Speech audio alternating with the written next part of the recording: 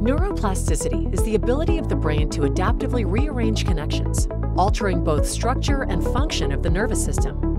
The idea of neuroplasticity is not a new one. It was first theorized over 120 years ago that the brain can rewire itself, creating changes not only biochemically, but also morphologically in certain brain areas like neuronal networks, neuronal connectivity, and the generation of new neurons.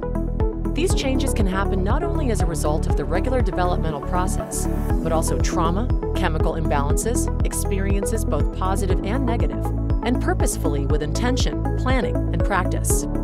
This newly updated course by Dr. Joe Dispenza will give students a fundamental understanding of neuroplasticity, how the brain works, explore current research in the field of neuroplasticity, examine the influence neuroplastic principles have in daily life, and consider how these principles inform the health and healing process and how they can be used to positively improve the quality of life for all. I think science is the contemporary model of mysticism.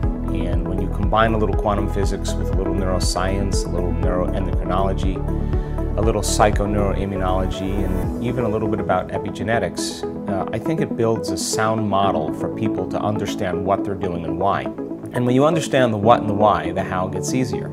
Find out how you can acquire this course with Quantum University today.